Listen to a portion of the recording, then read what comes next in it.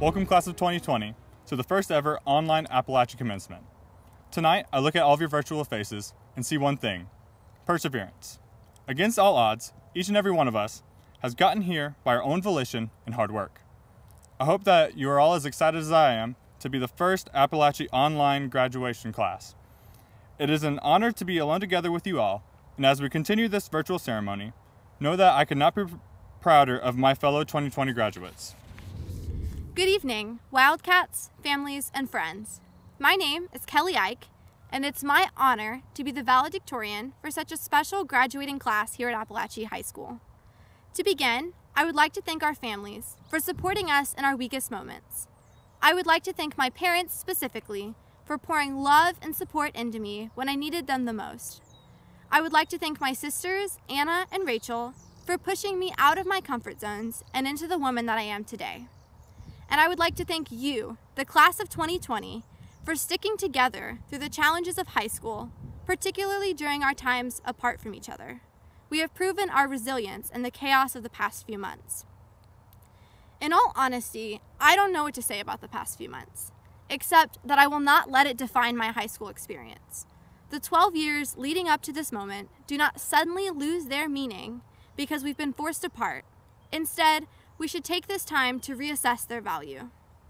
During our time apart, I've thought a lot about the high point of my senior year when in February I accomplished one of my longest standing goals running the Disney Princess Half Marathon. I'd been training for the race for a little under four years. My mom and I had planned to run the 5K, 10K, and half marathon together as a part of my senior trip. Unfortunately, the diagnosis of a benign brain tumor and the resulting surgery prevented her from running the half marathon with me. It also made my training much more difficult because she was not able to push me. As a result, when the half marathon finally arrived, I genuinely did not believe I could make it. 13.1 miles is a long way, if you didn't know. To be clear, I ran a 5K and a 10K in the two days leading up to the marathon, half marathon. Yet, all I could think about was how I should have trained harder. I wouldn't be able to finish. I'd never run the full 13 miles in my training. Those doubts almost cost me the race before it had even really begun. I'm not going to lie, at mile six, I debated sitting down and waiting for someone to come pick me up. Doubling the distance of the previous day was crippling mentally. By mile eight, I couldn't think of anything except that I had to keep going. I could not quit when I was over halfway done. Everyone will tell you that mile 8 of a half marathon is the hardest mile in the whole race. But despite the mental and emotional fatigue, your body stops straining for a short distance. It just keeps moving, falling into the, motion, the rhythm of motion, pushing towards the finish line. And as you reach that final mile, cast members and other strangers line the edges of the path, cheering you on and shouting support. The commotion and sudden surge of support causes your spirits to lift. And even though you are one of just many people to hear those words, they matter. Though thousands of people have crossed ahead of you, and though many people will cross behind you, crossing the finish line and collecting your medal fills you with an incredible sense of accomplishment. That satisfaction and pride is uniquely yours. High school is a little bit like running a half marathon. As we dive into freshman year, we all wish we'd come more prepared. Doubts and insecurity rise to the forefronts of our minds. Who are our friends? Where are our classes? What club should we join?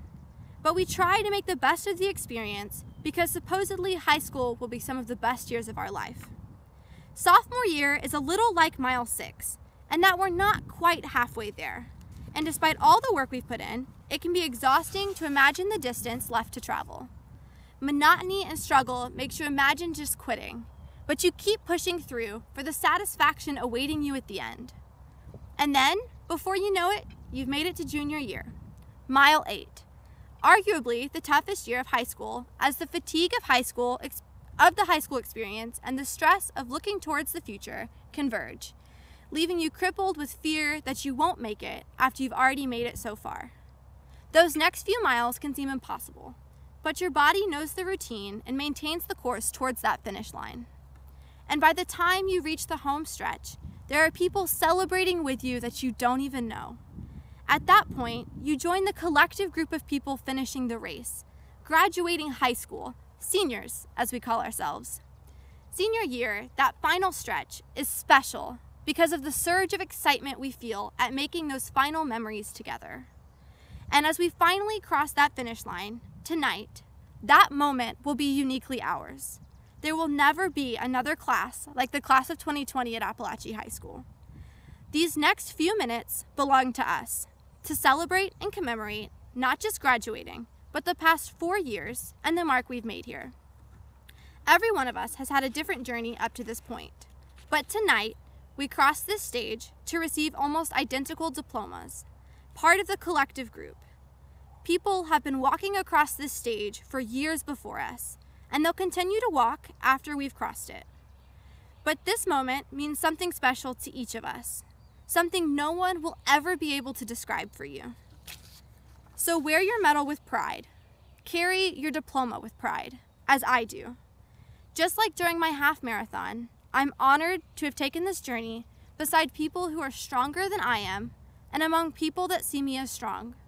So please, find your next marathon, or even a full marathon. Find that next goal, and let the journey teach you about yourself. And when you reach it, whatever it is, remember the feeling that comes along with it, because when we push ourselves and accomplish our goal, we may become exhausted by the process, but in the morning, we feel ready to conquer the next task. Thank you and good night. When we started this journey together, we saw the world as the child sees the lamb. Now, after all our trials and unanticipated roadblocks, we can finally see the world as William Blake sees the tiger. Tiger, tiger, burning bright in the forest of the night, what immortal hand or eye could frame thy fearful symmetry? In what distant deeps or skies burnt the fire of thine eyes?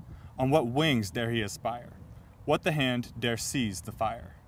And what shoulder and what art could twist the sinews of thy heart? And when thy heart began to beat, what dread hand and what dread feet? What the hammer, what the chain, and what furnace was thy brain? What the anvil, what dread grasp dare its deadly terrors clasp? When the stars threw down their spears and watered heaven with their tears, did he smile his work to see? Did he who made the lamb make thee? Tiger, tiger, burning bright in the forest of the night, what immortal hand or eye dare frame thy fearful symmetry? In the words of former President Barack Obama, we did not come to fear the future, we came here to shape it. We all encounter different struggles in this world, but with the knowledge we gain from overcoming and moving forward with those struggles, we change and the world around us. Thanks to our teachers who have stuck to our side, who have helped us achieve this new milestone of our lives. You made sure we never gave up, made sure we did our best work, and made sure we prepared for the future. Thanks to your efforts, the future can fear the class of 2020 and watch us shape it for the better. Today, we end one chapter of our lives and begin our next into becoming future leaders of this world. We were born during a time of panic and we're graduating in a time of panic, but that's not going to stop us from aiming high and of achieving our goals and dreams. This is our major achievement that we have worked hard for, and will open many doors for opportunities for us. Our journey to shape the future will not be easy. There will be many obstacles and we'll feel like giving up. But we must continue to push forward to build our future, making each decision with our best interests in mind. Let's not lose our hope during this time and let's remain strong. We have made it this far and nothing will stop us from moving forward to greater things. We'll never forget the memories created here as we graduate with our heads held high, with opportunities in our hand, and our legacy shining the way. Good evening, Apalachee High School community. Although we are not physically together, your presence is felt and valued during this virtual celebration. Your commencement, class of 2020, your graduation day. Parents and guests, you are the reason we experience the honor of teaching. You shared with us your children from a young age, and we watched them grow, becoming the young men and women we are celebrating this evening. Your gift to us is a gift to our community, our nation, and our world. Teachers, you are heroes. I do not think you are told enough. What you influence, what you produce, what you mold, that is what flies off into the universe, impacting the way it is shaped and developed. During this time of uncertainty, you have come together to bring hope to each child you impact. Collectively, you bring hope to the world, and I could not be prouder to work alongside the Apalachee High School faculty and staff. You will always be remembered for your persistence, dedication, and love, but most importantly, your message of encouragement to finish strong and with pride to each of your students. Graduates, the first day of school is glass clear in my memory. We opened with a class of 2020 picture, a college fair, a message of perseverance, and frankly, an overconfidence that the 20th anniversary of our school would make us invincible. We found out, and pretty quickly, the class of 2020 was not going to experience everything exactly as those before us. Homecoming, with all its beautiful red sky glory, quickly turned to dark clouds, rain, and high winds. Our homecoming court and the many who gathered to celebrate our school's 20th anniversary scurried while our football team huddled in the field house.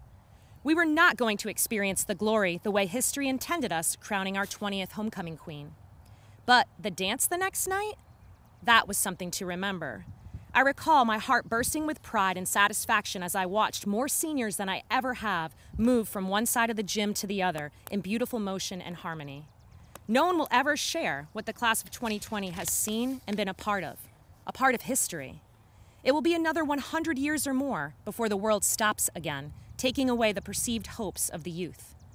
But you, the graduates of 2020, the class of 2020, the monumental youth of 2020, you will emerge and you will dance.